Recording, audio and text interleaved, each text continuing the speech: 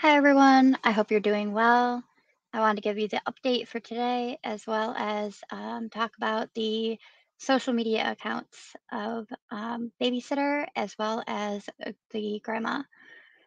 So today's update from Chatham County Police Department states that today marks one week since Quinton was reported missing.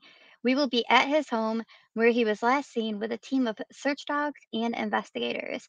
We will spend today gathering and analyzing evidence. We expect to schedule a media briefing tomorrow. So, um, in regards to that, I will obviously bring you the press conference. Okay. So, I'll definitely show you that tomorrow. Whenever it happens, I will go live with it. Now, this here is the grandmother's page. As you could see, it says this content isn't available right now. When it happens, it's usually because the owner only shared it with a small group of people, changed who can see it, or it's been deleted. Um, I'm going to go with it's likely been deleted, uh, at least it, it temporarily deleted, right? The last that she had on there was only a profile picture that was on the timeline. She then put up a post that I read to you guys. She ended up removing that post as I kind of thought she might have. Um, she did. She did remove it. The post that I read to you guys in, I believe, yesterday's update. Um, but the other thing that I want to show you is the babysitter. Let me take you there. So last night, the babysitter ended up coming back on to Facebook live and talking, um, trying to explain some things. So I'm going to push play and let you listen to that right now.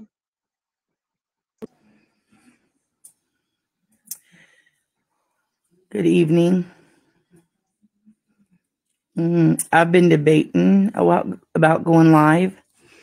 Um, but if I don't go live and I don't tell, you know, people are asking different things, then, you know, I'm not helping Quinton. Um, but you're going to see a lot of different videos come out and one of them is with his grandmother barging into my house. And the reason she barged into my house, and anything that I'm saying on here, I have proof of. Um, she barged into my house, and I already made a video of this, but I need to clear some things up. She barged into my house because I offered to cook for her and to put flyers out. Um, I don't understand why it made her so mad. She told me I was overstepping because I was just the babysitter. But if my child or my grandchildren was missing, and I do have grandkids, I would want any and everyone to help me. I was very emotional the other night when I went live because we were missing Quinton. We have all been worried about Quinton. Um, I don't get on here for attention. Um, I get on here because people say stay away from social media, but I need y'all to know when something is posted or I talk to someone that I need to explain when something happens the truth, not my side, not their side, but the truth. Because a lot of people are saying, well, you're the babysitter. You should have did more. Look, I did what I thought was best. DFACS was aware of the situation. People can say, no, they wasn't, or they would have took them.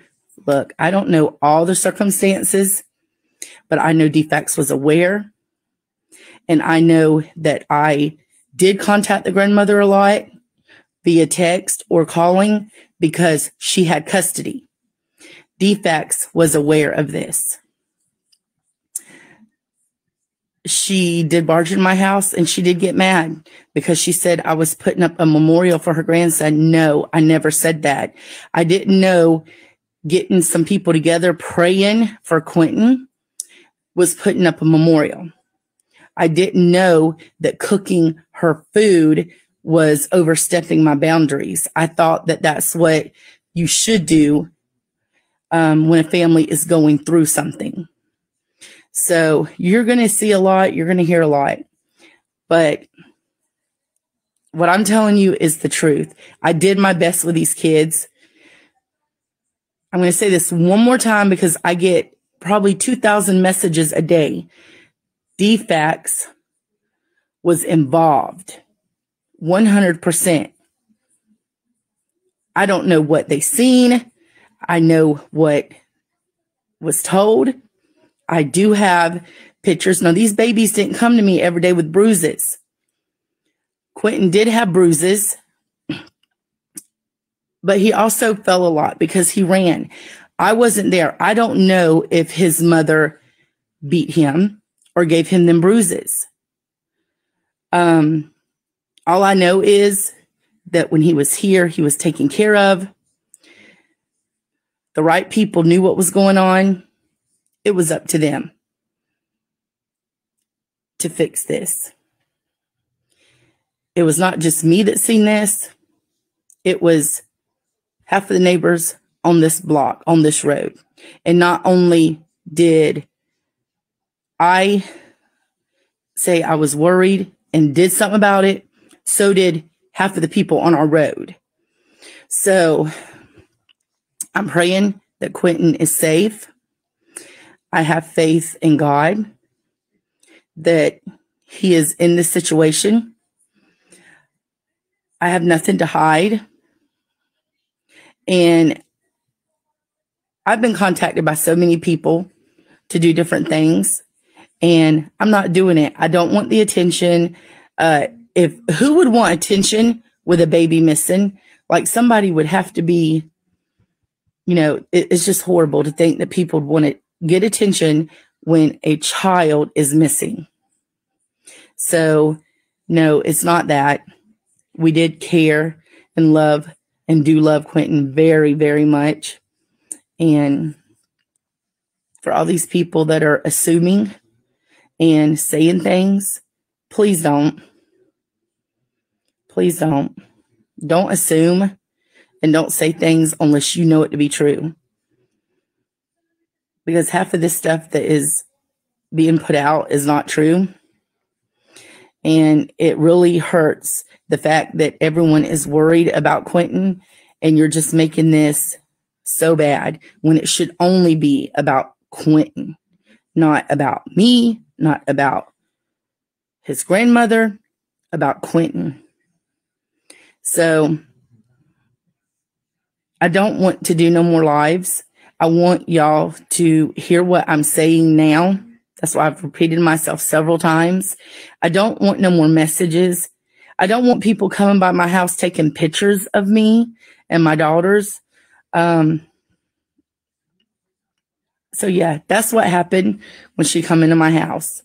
She thought I was trying to make a memorial, and I never did, and never would have, because I believe Quinton is alive. I just don't know where he is. So I hope everyone has a good night. Thank you for all the positive, positive comments. Thank you for all the people praying for Quinton, this precious baby. Um, and that's all I got to say. Thank you.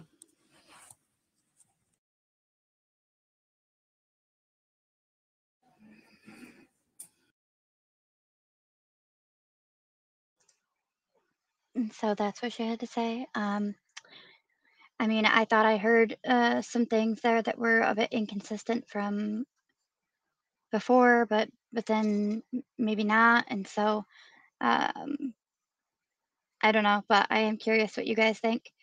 Uh, either way, I just wanted to give you guys the updates and show you what was happening on their social media accounts and uh, the update for today. So press conference will be tomorrow, and I will live stream it Um, but if the any other updates come out today, I will, um, well, I'll update you on the updates.